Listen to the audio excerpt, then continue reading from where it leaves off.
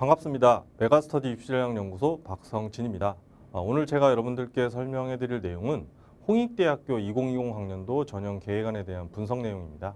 아, 홍익대를 염두에 두고 계신 어, 수험생들께서는 오늘 제가 설명드리는 내용을 들으시면서 아, 남은 기간 동안 나는 저러한 부분에 좀 보완을 해야 되겠네 또는 아, 저러한 부분이 변경됐구나 어, 라는 부분들을 좀 체크하시면서 들어주시면 될 것 같고요. 어, 이 내용은 어, 말 그대로 전형 계획안입니다. 그래서 이후에 내용이 얼마든지 이제 바뀔 수 있기 때문에 홍익대에서 발표하는 모집 요강을 추후에 꼭 확인하시면서 변경된 내용은 무엇인지를 좀 체크해 주시면 되겠습니다. 아, 그럼 홍익대학교는 어떠한 전형을 통해서 학생들을 선발하는지 살펴보도록 하겠습니다. 어, 홍익대학교는 크게 수시와 정시로 나뉘는데요. 어, 수시는 이제 교과 전형, 종합 전형, 논술 전형, 그리고 이제 정시는 이제 수능 위주로 선발을 하고 있습니다.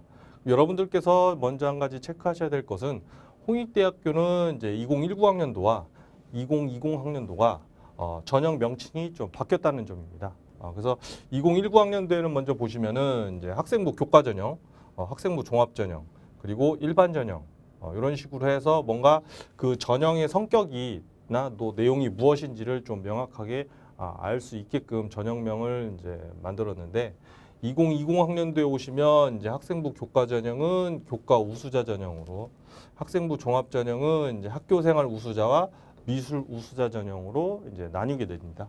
아, 그리고 정시 일반 전형은 이제 수능 우수자 전형으로 명칭이 바뀌었기 때문에 어, 이 부분을 참고하셔서 나중에 착오 없으시기 바랍니다. 아, 그럼 계열별로 어, 어느 정도 인원을 선발하는지 살펴보도록 하겠습니다. 어, 서울 캠퍼스를 제가 데이터를 정리를 해봤는데요. 어, 2019 학년도와 2020 학년도를 비교를 해보면 먼저 특징이 어, 교과 전형과 종합 전형과 논술 전형 모두 397명을 동일하게 모집한다는 점을 좀 어, 보실 수 있을 겁니다. 좀 특이하다고 보여지고요. 그리고 두 번째로는 어, 교과 전형 모집 인원이 대폭 감소했다는 점. 반면 종합 전형 모집 인원은 또 81명이 예, 이제 81명으로 크게 늘어났다는 점, 어, 이런 부, 요 부분도 좀 체크를 하, 해두셔야 될 것 같고요. 그래서 어, 전체 수험생 수가 특히 2020 학년도를 대비하는 그 현재 고2 학생들 수험생 수가 어, 크게 더 감소하는 마당에 어, 학생부 종합전형 모집 인원을 이런 식으로 이제 대폭 어, 좀 증가시켰다는 것은 좀 특기할 만한 내용이죠. 그리고 논술 전형은 이제 두 명 감소했고요. 어, 정시는 이제 모집 인원이 열 명 감소했습니다. 그래서 어, 홍익대학교는 어, 학생부 종합 전형 어, 선발 인원을 대폭 늘렸구나. 또 학생부 교과 전형 선발 인원을 어, 대폭 그래도 축소 감소시켰구나. 라는 점을 좀 기억해 두시면 될 것 같습니다. 그럼 계열별로 얼마만큼 모집 인원이 달라지는지를 살펴보도록 할 텐데요. 어, 앞선 표에서 보셨던 바와 같이 교과 종합 전형을 제외한 교과 전형과 논술 전형, 어, 정시 이렇게 요 전형들의 선발 인원은 감소한 것을 볼 수 있습니다. 어, 그리고 어, 자연계열도 마찬가지로 어, 교과 전형은 인문계에 비해서 더 많이 줄었죠. 어, 그리고 어, 종합 전형을 제외한 그리고 어, 논술 전형은 어, 모집 인원이 어, 달라진 게 없다는 점 참고하시고요. 어, 정시도 감소하였다는 점. 어, 그래서 학생부 종합 전형을 준비하는 수험생들께서는 어, 인문계, 자연계 어, 계열에 상관없이 모두 어, 이 점을 좀 참고하셔서 더욱더 내신 성, 성적 관리와 어, 비교과 준비에 좀 더 어, 열심히 해주시면 될 것 같습니다. 어, 그럼 이번에는 전형별로 어, 어떠한 방식으로 선발하는지 또는 달라지는 내용이 있는지 없는지를 살펴보도록 하겠습니다. 먼저 이제 교과 우수자 전형이죠. 2020 학년도 어, 명칭으로 제가 이제 넣어봤고요. 어, 2019 학년도에 이제 먼저 보시면 어, 교과 100으로 선발합니다. 비교과는 반영하지 않고요. 어, 어, 그다음 이거는 이제 2020 학년도에도 동일하게 적용됩니다. 다 대신 이제 수능 최저 기준을 적용한다는 점. 어, 그래서 어느 정도 적용하는지를 보면 세계 등급 합 6을 요구하고 있고요. 인문계는. 그럼 2등급, 2등급, 2등급. 어, 보통 아 2등급 대구나. 이렇게 생각하시면 될 것 같고요. 자연계는 이제 세계 등급 합 7을 요구하고 있습니다. 그래서 2등급, 2등급, 3등급. 아, 요 정도 수준이구나. 어, 이렇게 참고하시면 될 것 같고요. 탐구는 한 과목을 반영합니다.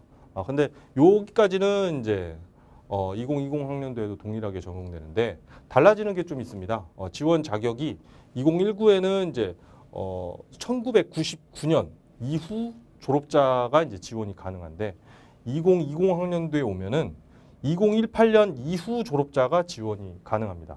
아, 그래서 요 점은 달라진 내용이니까 어, 참고하시면 될 것 같고요. 또 하나 달라지는 점은 이제 교과 성적을 반영하는 방식이 달라졌다는 점입니다. 그래서 그 부분을 좀더 어, 구체적으로 살펴보면 어, 2019 학년도에는 요 네 개의 모집단이 모두 동일한 방식으로 이제 교과 성적을 적용했습니다. 그래서 국어, 수학, 영어는 필수로 들어가고 어, 사회 또는 과학 교과 교과목 중에서 이제 본인한테 유리한 거를 이제 하나를 택해서 이제 반영을 했는데 2020 학년도에 오면 이런 식으로 동일하게 적용하는 것이 아니라 어, 인문계 같은 경우 국수영사 전 과목, 자연계 국수영과 전 과목, 그리고 캠퍼스 자율 전공만 이제 어, 국수영을 필수로 반영하고 어, 이제 사회나 인문 어, 자율 전공 인문 예능 예술학과 같은 경우는 이제 사회나 예술 중에 택일을 하는 거고요. 어, 캠퍼스 자율 전공 자연 예능 같은 경우는 어, 과학이나 예술 중에서 택일하는 식으로 어, 변경됐으니까요. 어, 해당 계열로 모집 단위로 지원을 어, 염두에 두고 있는 수험생들께서는 이 과목들에 대한 준비를 좀 더 착실히 해주셔야 될 것 같고요. 어, 학년 구분은 없다는 점 음, 참고하시면 될 것 같습니다. 어, 그리고 또 보시면 어, 1등급과 2등급 간의 4점, 또 3등급 간에는 이제 11점 차이가 나기 때문에 어, 3등급 이하로 어, 내신 성적이 낮아 이제 어, 낮아지게 되면 어, 크게 불리할 수 있다는 점도 참고하셔서 내신 준비도 열심히 해주시면 될 것 같습니다. 어, 그리고 교, 어, 홍익대 같은 경우는 교과 성적을 여기 이제 과목별 이수 단위를 곱하잖아요. 그래서 이수 단위가 높은 과목 성적이 좋을수록 더 유리하다는 점. 뭐 이건 일반적인 얘기긴 하지만 어, 이수 단위도 반영을 하기 때문에 이수 단위가 높은 과목에서 성적을 좀 잘못 받을 경우는 좀 불리할 수 있다는 점도 참고해 주시면 좋을 것 같습니다. 아, 이번에는 어, 학생부 종합 전형이죠. 학교 생활 우수자 전형에 대해서 알아보도록 하겠습니다. 어, 2019와 2020이 달라지는 점은 이제 2019 학년도에는 이제 미술 계열도 학생부 종합 전형으로 해서 뭉뚱그려서 뽑았기 때문에 여기 서류 100 다만 이제 미술 계열은 단계별 전형으로 선발했는데요. 2020 학년도에는 이제 서류 100으로만 선발하고요. 미술 계열은 어, 뒤에 나오겠지만 미술 우수자 전형으로 별도의 전형으로 선발을 합니다. 그 점을 참고해 주시면 될 것 같고요. 그리고 어, 수능 최저가 적용되고 면접을 하, 어, 홍익대는 보지 않습니다. 학생부 종합전형에서 면접을 보지 않기 때문에 그만큼 학생부가 좀 내용이 알차야 된다는 거. 왜 면접에서 학생부의 부족한 부분을 이제 보완을 할 수 있는데 어필을 할 수 있는데 어, 면접을 실시하지 않기 때문에 어, 학생부나 자기소개서 이러한 부분에서 어, 본인이 어필하고 싶은 부분을 충분히 어필을 해줘야 된다는 점 어, 참고하시면 될 것 같고요. 어, 수능 최저는 보통 어, 세계 등급합 6 인문, 자연계 세계 등급 7, 어, 요 정도 수준. 그래서 2등급, 2등급, 2등급 인문계, 자연계는 2등급, 2등급, 3등급 정도를 요구하고 있구나라는 걸 알 수 있죠. 어, 그리고 어, 2019 학년도에는 서류, 교사 추천서는 선택 항목으로 들어갔는데 어, 2020 학년도에 오시면 보시면 이제 수능 최저 기준은 달라진 게 없죠. 동일하지만 교사 추천서가 폐지됐다는 점 어, 참고해 주시면 될 것 같고요. 그리고 어, 좀 전에 말씀드렸다시피 어, 미술 계열은 미술 우수자 전형으로 선발을 한다는 점도 참고, 참고하시면 될 것 같습니다. 그래서 어, 이것도 학생부 종합전형 내에 포함되어 있는 전형이기 때문에 제가 가져와 봤는데요. 어, 미술 우수자 전형 같은 경우 특징이 있습니다.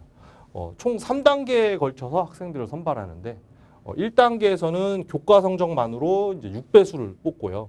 2단계에서는 이제 서류를 가지고 어, 3배수로 이제 걸러내는 거죠. 어, 간추리는 겁니다. 그리고 3단계에서는 면접을 통해서 면접이 60%나 된다는 점. 그래서 면접의 비중이 높다는 점도 참고를 하셔야 돼요.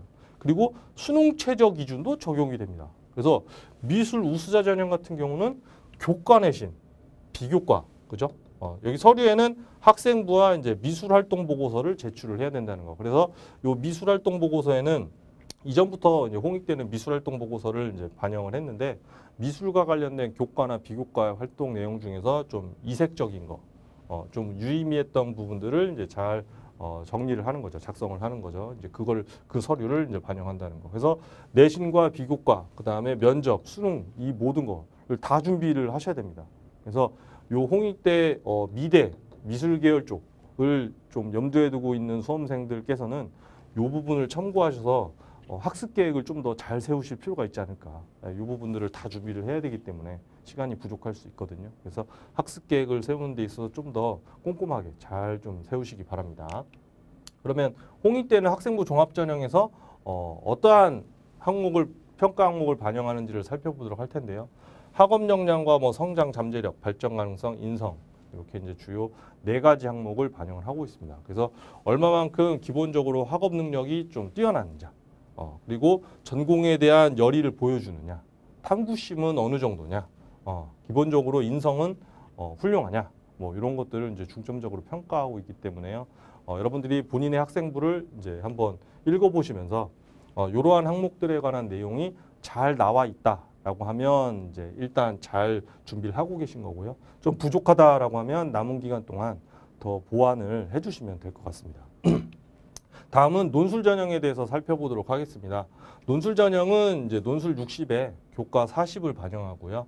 어, 수능 최저 기준이 적용이 됩니다. 그래서 2019 학년도와 2020 학년도가 동일하기 때문에 제가 이제 그냥 학년 구분 없이 이제 작성을 해봤고요. 어, 수능 최저 그럼 어느 정도 수능 준비를 해야 되느냐 살펴보면 어, 인문, 그 다음 예술, 캠퍼스 자율전공 인문 예능은 이제 세계 등급합 6이죠. 그래서 보통 2등급, 2등급, 2등급 받으시면 될 것 같고요. 자연 계열과 이제 캠퍼스 자율전공 자연 예능은 세계 등급합 7입니다. 그래서 어, 교과 전형하고 뭐 종합 전형, 논술 전형이 거의 수능 최저 기준이 동일한 것을 볼 수 있죠. 아, 그래서 그 점도 참고하시면 좋을 것 같고 탐구는 이제 한 과목을 반영한다는 점. 그래서 어, 본인한테 유리하게 어, 적용되는 과목이 무엇인지도 이제 참고하시면서 준비하시면 될 것 같고요. 논술 전형 같은 경우는 지금 보시면 어, 모든 모집 단위가 반영 교과를 국수형 필수로 들어가고요. 어, 사회 또는 과학 과목 중에 본인이 유리한 과목 한 과목을 택해서 이제 점수를 산출하게 됩니다. 그래서 어, 전 과목을 반영하는 것이 아니라 교과 전형처럼 상위 교과별로 뭐 국어 세 과목, 어, 영어 세 과목, 수학 세 과목 또는 사회 또는 과학 중에서 어, 또 관련된 교과목 세과목 그래서 총 열두 과목을 반영한다는 점. 그러니까 그만큼 어, 학생들 중에서도 어, 유리한 과목을 세과목씩 반영하기 때문에 어, 내신 성적을 가지고 크게 변별력이 있다라고 보기는 조금 어, 어려울 것 같습니다. 그래서 내신 성적으로는 큰 차이가 없을 거라고 보여지고 다만 이제 달라지는 점을 좀 주목하셔야 되는데 2019 학년도와 2020 학년도에 이제 홍익대 논술재능 환산 점수를 보시면 어, 1등급부터 3등급까지는 동일하게 어, 환산 점수를 부여하지만 4등급부터는 이제 2019 학년도에는 92점. 그래서 5점 차이가 3등급과 4등급 간에 5점 차이가 났죠. 근데 이제 2020 학년도에 오면 3점 차이로 그 갭이 간격이 줄어듭니다. 그러니까 더더욱 변별력이 더더욱 없어지는 거죠. 그래서 어, 논술 전형을 좀 염두에 두고 계신 분들, 나중에라도 이제 논술 전형 지원을 고려하고 계신 분들은 이제 어, 논술 성적과 논술 준비와 또는 이제 수능 최저 어, 기준 충족에 좀 더 신경을 많이 쓰셔야 될 것 같습니다. 그래서 내신의 변별력이 없어졌기 때문인 거죠. 그래서 교과 점수 반영 방식은 이제 참고하시면 될 것 같고요. 그래서 어, 학생부 교과 전형하고는 좀 다른 방식으로 어, 반영한다는 점, 점수를 산출한다는 점 참고하시면 될 것 같고요. 어, 홍익대 논술 전형 출제 어, 경향에 대해서 살펴보도록 하겠습니다. 어, 홍익대는 논술은 이제 수능 이전에 보죠. 음, 수능 이전에 봅니다. 그래서 아무래도 수능 이후에 논술고사를 실시하는 대학보다는 이제 경쟁률이 낮습니다. 아, 그리고 그래서 어, 홍익대를 이제 나중에 고3이 되어서 논술 전형도 준비를 해야 되는 수험생들께서는 오히려 이 점을 적극적으로 좀 어, 공략을 하실 필요가 있는 거죠. 그래서 수능 준비 열심히 하시고 어, 홍익대에서 올려놓은 이제 논술 기출 문제를 잘 분석하셔서 어, 좀 준비를 하신다고 하면 그만큼 합격 가능성이 높다라고 보여지고요.